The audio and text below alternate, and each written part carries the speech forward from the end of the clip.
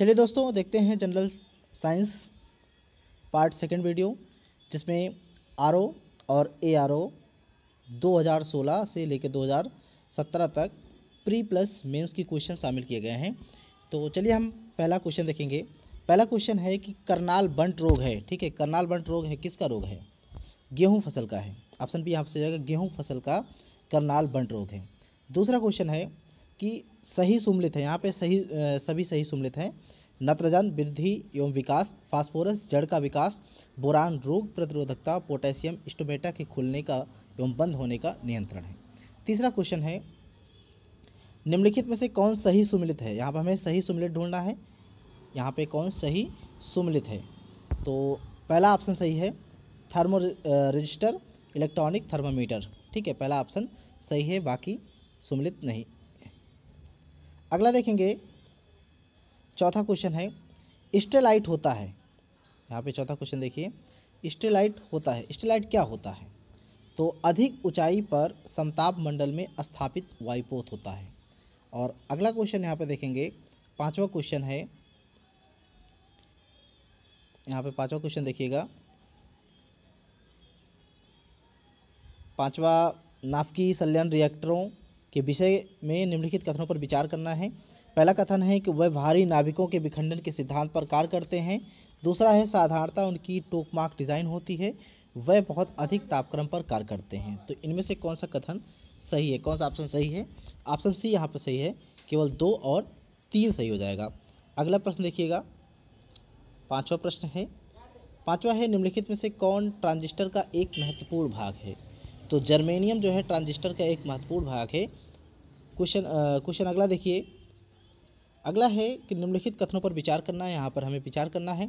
कथन है, हल्के रंगीन कपड़ों को गर्मी में वरीयता दी जाती है।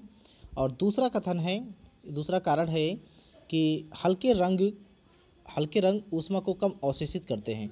नीचे दिए गए कूट से सही उत्तर चुनना है। इसमें पहला ऑप्शन ही सही हो जाएगा। ए और आर दोनों सही हैं, आर ए का सही स्पष्टीकरण है। और अगला क्वेश्चन देखिएगा। अगला है, निम्नलिखित में से किसका उपयोग विस्फोटक के उत्पादन में किया जाता है? तो किसका उपयोग विस्फोटक के उत्पादन में किया जाता है? तो ग्लिसरॉल का, ठीक है? ग्लिसरॉल एक कार्बनिक यौगिक है। या सांद्र नाइट्रिक अम्ल एवं शांत सल्फ्यूरिक अम्ल की उपस्थिति में नाइट्रोग्लिसरीन बनाता है। तो नाइट्रोग्लिसरीन एक विस्फोटक पदार्थ है, जिसे नोबेल तेल भी कहा जाता है। अगला प्रश्न है, क्वेश्चन नंबर नौ निम्नलिखित में से किसका उपयोग दिया सलाई के निर्माण में किया जाता है? सबको पता है, लाल फास्फोरस का प्रयोग किया जाता है। ठीक है, माचिस बनाने में जो चीड़ की, लकड़ी की तीली पर पोटेशियम क्लोरेट रेडलेट और एंटीमनी सल्फाइड और गोंद का मिश्रण लगाया जाता है और रगड़ने पर, सतह पर लाल फास्फोरस और एंटीमनी सल्फाइड और गोंद का मिश्रण लगाया जाता है। ठीक है, जो रगड़ने वाली जगह होती है। तो अगला प्रश्न है अगला है निम्नलिखित में से कौन सही सुमिलित नहीं है। हमें यहाँ पर ढूंढना है कौन सही सुमिलित नहीं है। तो यहाँ पर आनुवांशिक रोग छः रोग से थोड़ी न है। ठीक है ऑप्शन बी यहाँ पर हो जाएगा। अगला क्वेश्चन देखेंगे हम। क्वेश्चन नंबर ग्यारह देखिएगा। सांप के जहरीले विषदंत ठीक है, सांप के जहरीले विषदंत रूपांतरित रूप हैं। किसके रूप? हैं जंबिका दंत के। ऑप्शन डी यहाँ पर से जाएगा, जंबिका दंत के। अगला प्रश्न है क्वेश्चन नंबर बारह।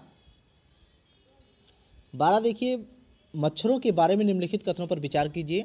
केवल नर रक्त चूसते हैं, केवल मादा रक्त चूसती है, मादा पौधों का रस चूसती है, मादा की अपेक्षा नर के डैने बड़े होते हैं, नर की अपेक्षा मादा के डैने बड़े होते हैं। इसमें से कौन सा कथन सही है? इसमें दो और पाँच यानी कि ऑप्शन डी सही हो जाएगा, ठीक है? दूसरा क्या है? दूसरा है दूसरा है केवल मादा रक्त चूसती है और पांचवा है नर की अपेक्षा मादा के डैने बड़े होते हैं। और अगला क्वेश्चन है कि निम्न सूची एक को सूची दो के साथ मिलान कीजिए। सूची एक सूची, ये सभी सुमिलित हैं। तो पहला हड्डियों में उपस्थित यौगिक है कैल्शियम फास्फेट की वजह से। दूसरा है सिरका में उपस्थित हम एसिटिक एसिड है।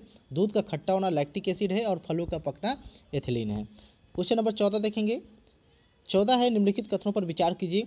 कथन है अमरबेल परजीवी आवृत्ति बीजी का एक उदाहरण है। यह पोषी पौधों की पत्तियों से अपना पोषण प्राप्त करता है। नीचे दिए गए कोड से सही उत्तर चुनना है। तो इसका ऑप्शन डी सही था। ए सही, किंतु आर गलत था। ठीक है, अगला प्रश्न है।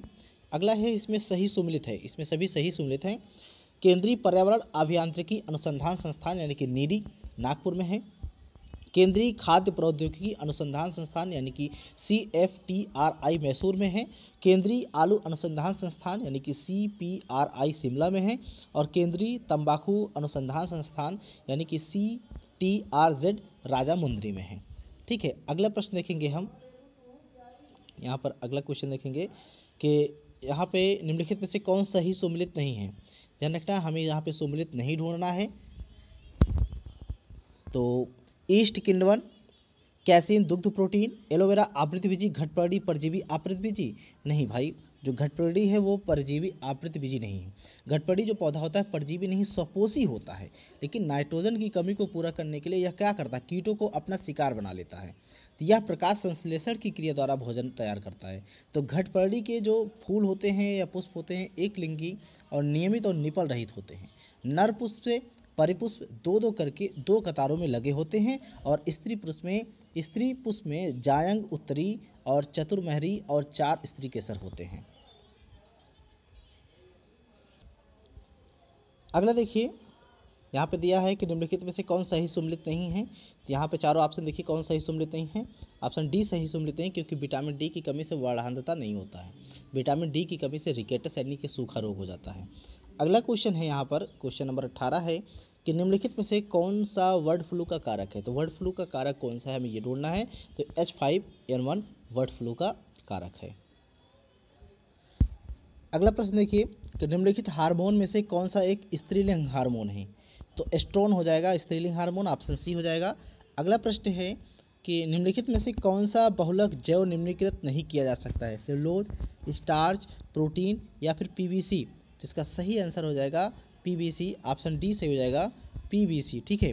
और अगला प्रश्न है कि निम्नलिखित में से कौन सा युग्म सही नहीं, सही सुमिलित नहीं है? हमें यहाँ ऐसे युग्म ढूंढना है जो सही सुमिलित नहीं है।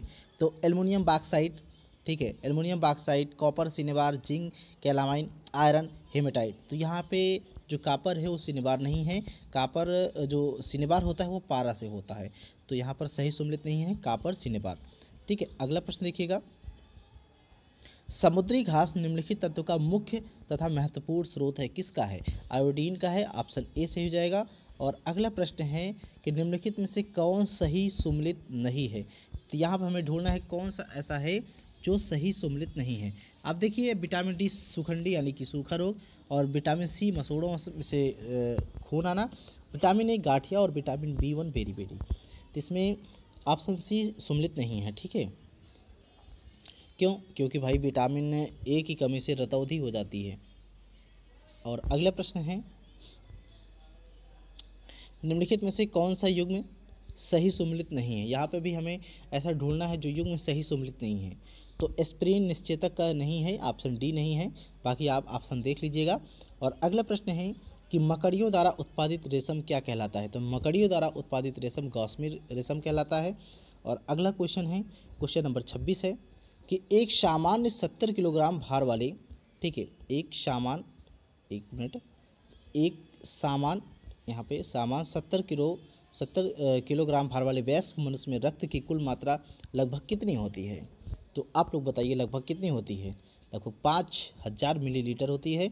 और अगला प्रश्न है कि निम्नलिखित में से कौन सा एंजाइम प्रोटीनों को एमिनो अम्ल में विघटित करता है? तो कौन सा करता है? पेप्सिन करता है। ऑप्शन ए यहाँ पर हो जाएगा पेप्सिन।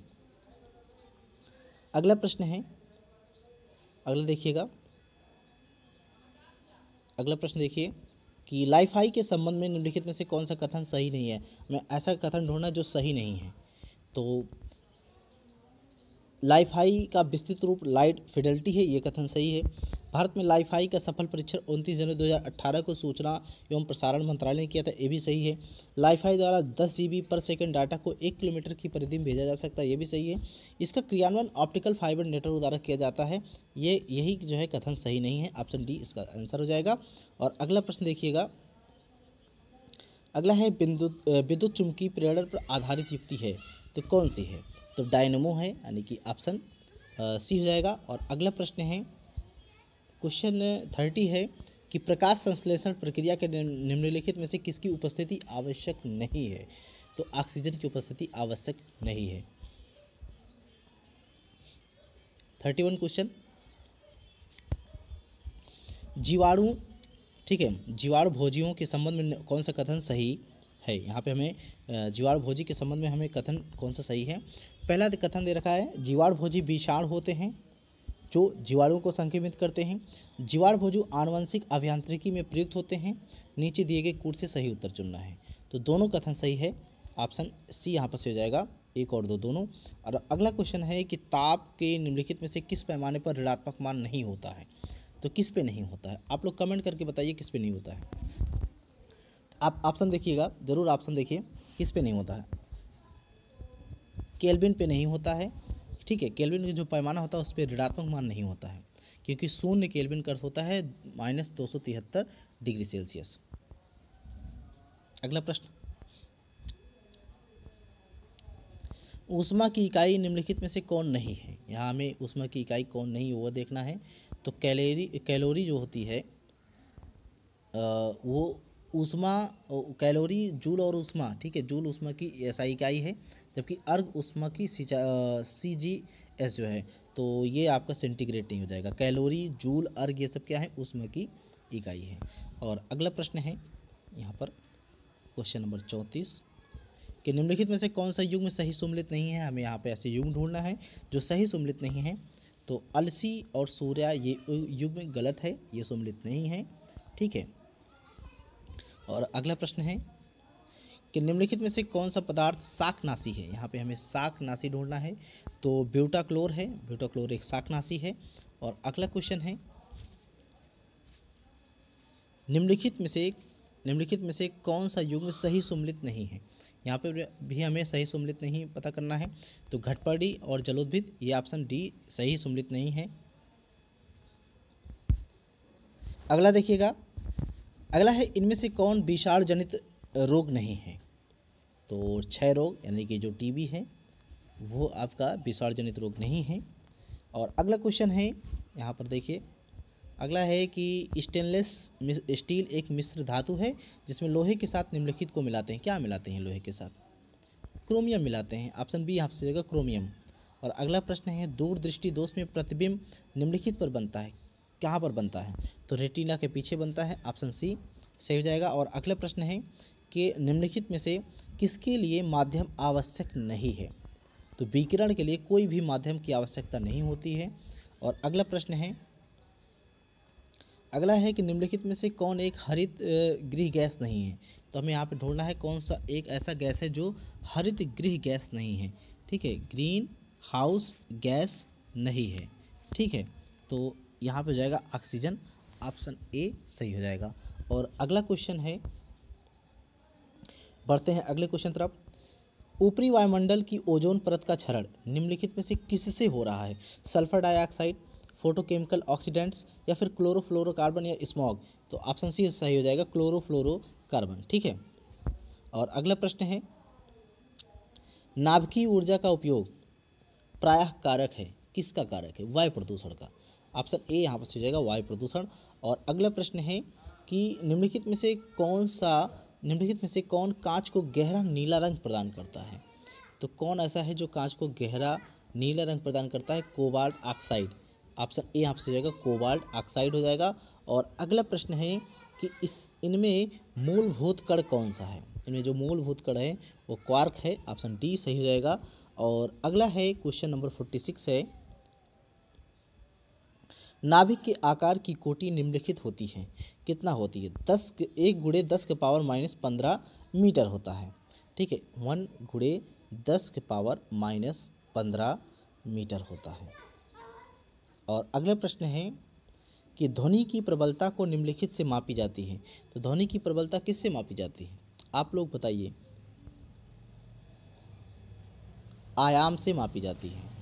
ठीक है? अगला प्रश्न है अगला है कि प्रत्येक क्रिया के लिए, प्रत्येक क्रिया के लिए एक समान और विपरीत प्रतिक्रिया होती है। यह नियम दिया था। यह नियम किसने दिया था? न्यूटन ने दिया था। ठीक है, और अगला प्रश्न है। क्वेश्चन नंबर फोर्टी नाइन है कि निम्नलिखित में से कौन सा एक विटामिन सूर्य के प्रकाश की उपस्थिति में त्वचा बनाता है? तो सबको पता है। विटामिन डी है। और आज का लास्ट क्वेश्चन है सही सुमलित है, इसमें सभी सही सुमलित हैं। हीरा जो है कार्बन है संगमरमर कैल्शियम है और रेस सिलिका और मारिक जो होता है, एल्युमिनियम ऑक्साइड होता है। ठीक, और अगर आप दोस्तों इसका जो है पीडीएफ चाहते हैं, अगर पीडीएफ प्राप्त करना चाहते हैं तो आप लोग हमें कमेंट में एक बार ज़रूर बताइएगा तो आप पीडीएफ प्रदान कर दिया जाएगा।